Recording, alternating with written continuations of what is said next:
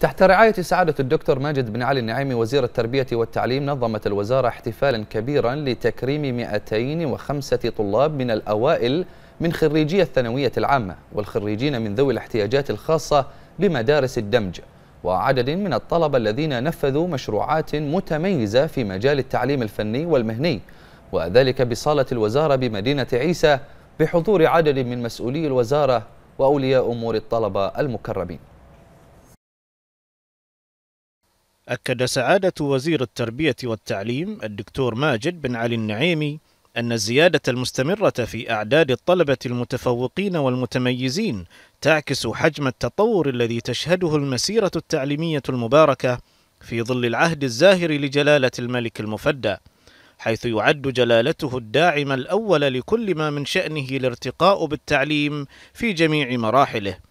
مشيرا إلى أن اهتمام الوزارة المستمر بالاحتفاء بهذه النخبة من الطلبة يأتي للتأكيد على أن مملكة البحرين تفتخر وتعتز بهم.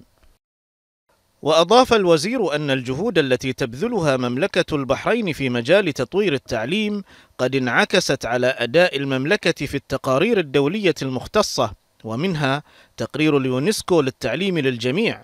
والذي صنف المملكة ضمن الدول ذات الأداء العالي في هذا المجال إضافة إلى تصنيف المملكة من قبل البنك الدولي في المركز الأول عربيا والسابع والأربعين عالميا في مؤشر رأس المال البشري والحصول على أعلى نسبة تقدم في الاختبارات الدولية للرياضيات والعلوم تيمس في دورتها للعام 2015 بواقع 45 درجة معيارية.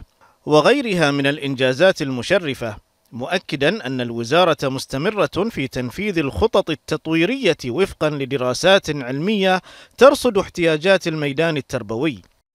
هذا اليوم من الأيام السعيدة في وطن مملكة البحرين. باعتبار أنه تم تكريم عدد من الطلبة المتميزين في مختلف التخصصات. لا شك أن ازدياد هؤلاء الطلبة من عام إلى آخر يؤكد التقدم الكبير الذي تشهده مسيرة التعليم في العهد الزاهر لسيدي حضرة صاحب الجلالة الملك حمد بن عيسى آل خليفة عاهل البلاد المفدى حفظه الله ورعاه.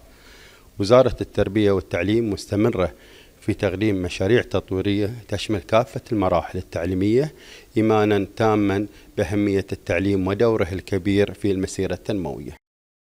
وقد عبر الطلبة المكرمون عن شكرهم لوزارة التربية على هذه اللفتة الكريمة بالاحتفاء بهم معربين عن الاعتزاز بالرعاية الكريمة للمسيرة التعليمية من قبل جلالة الملك المفدى وسمو رئيس الوزراء وسمو ولي العهد.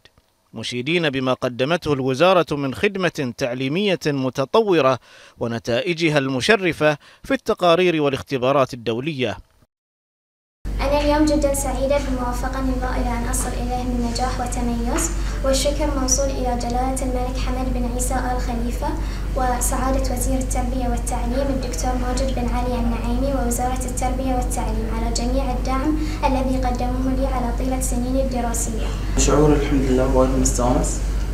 وأشكر جلالة الملك والقيادة الحكيمة وزير التربية والتعليم على الدعم اللي قدموه لنا طموحي أكبر من هذا. أتمنى أخلص دراستي الجامعية.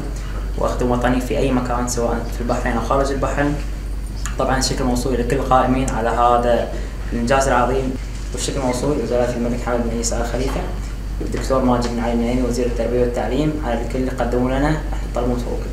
آه لي الشرف اليوم أن أنا أفتخر بنفسي على الإنجازات والتحديات اللي واجهتها وتحديتها في المستقبل.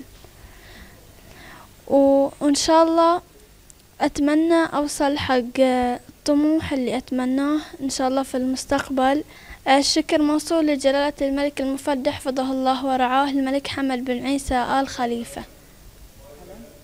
على دعمها إلى طلبة ذوي الهمم في جميع الأنشطة في مملكة البحرين في الخا... الداخل والخارج. أشكر صاحب الجلالة الملك حمد بن عيسى آل خليفة على كل المقدم له في مجال التعليم والدراسة.